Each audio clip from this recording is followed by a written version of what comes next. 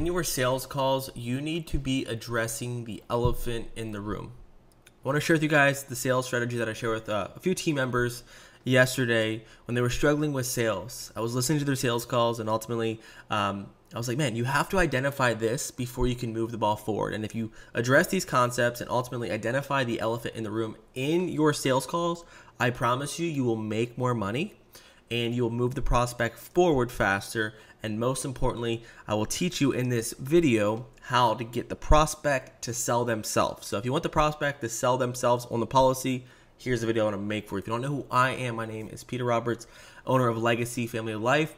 We help life insurance agents make six figures without buying leads and without chargebacks. Sounds crazy, but ultimately, our goal, my goal, is to help agents actually make money, provide well for their families, and not get screwed over by the life insurance industry. So, let's go into what this concept is called. It is called addressing the elephant in the room. Let me give you guys some scenarios so you can understand it first. I'm to share with you how you can lower the the prospect's guard and get them to sell themselves. Sound good? Perfect. So the first thing is situation number 1. Miss Betty, she tells me I'm on the phone call with her, I have a $50,000 whole life insurance policy and I'm looking to get a policy to cover my burial expenses. Okay? What's kind of weird about this situation? Well, Miss Betty, 50,000 if you're thinking about it in 2024, that's going to cover more than enough burial expenses, right? Burials, 15, 20,000, you know. So in the back of your mind, you're thinking as an agent, like, man, this doesn't make sense. She already has a $50,000 policy. Why does she need an extra policy to cover her burial expenses? It doesn't make sense. That is the white elephant. And the problem is, is a lot of agents will have that thought.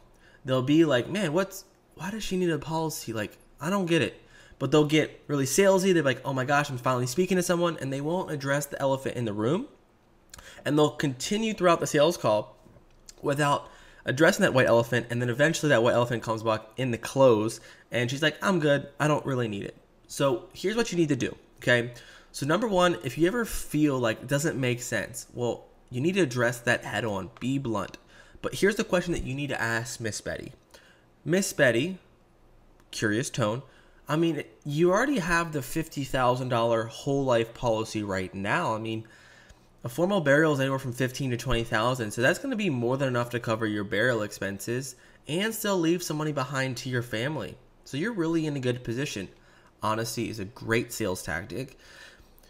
So, kind of walk me through. I'm just confused. I mean, why would you need an additional policy if everything is already kind of taken care of with your first policy? Can you kind of help me understand that, Miss Betty? She is then going to tell you, oh, I want this to happen, or here's why this policy is not sufficient in solving my problem. Okay? So you need to ask her, why is that not enough? Slay that white elephant. Okay? She might say, oh, I want to make sure that, you know, I can still leave $20,000 to Sarah because Sarah is my favorite granddaughter and I want to leave her a separate policy. So the value has just shifted from I want to cover my burial expenses, which you actually can't because 50,000 is already going to do that, so there's no value there.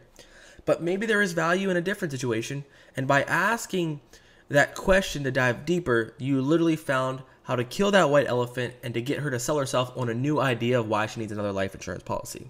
Okay? Let me give you another example. Mr. Timmy. Mr. Timmy, this happened. He said, "Hey, I want to, you know, I want to get a, a, a, policy to cover my bear, my cremation expenses. Okay, I already have a uh, $15,000 life insurance policy, but I want something to cover my burial expenses. I'm going cremation. What is the white elephant in the room? What is what you're thinking? Okay, you're thinking that Mr. Mr. Timmy, you already have 15,000. That is more than enough for a basic cremation, my friend. So you're going to ask him, Mr. Timmy, just so I can understand, I mean, you have a $15,000 policy um, that's plenty enough for a cremation. I mean, why would it be like important for you to have like an additional policy? Can you like walk me through why that'd be important for you? Then what is he gonna have to do? He's gonna have to pause, acknowledge his situation, and sell himself to you of why he needs another life insurance policy. Well, I need another policy because this. Okay? So by attacking that white elephant in the room, this happens so many times. You don't just skip by it. You don't just move forward. You have to address the obvious. White elephants are in the room because they're obvious. They're there. You can't miss them. It's obvious that this guy's already taken care of. So it doesn't make sense why he needs another life insurance policy. So we're going to ask him, You're already good. Why do you need another policy? Can you explain that to me? And when he explains that to you, he will sell himself on potentially getting a new policy.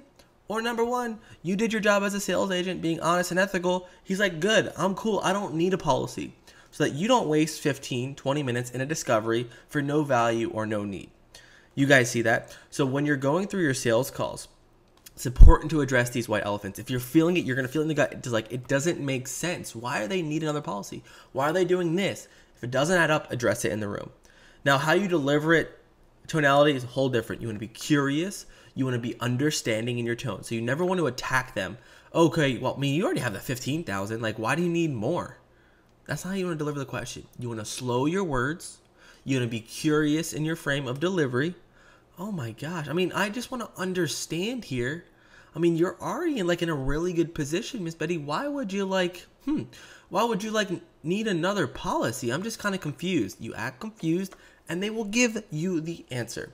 So if you're struggling, check yourself, see where you're at. Are you identifying the white elephants in the room? And ultimately, if you slay those elephants, you will move the ball forward, find more value, and help your prospects come to a come to a come to a conclusion that they do have a problem or they don't have a problem and then you can sell them. Hope this video helps you guys.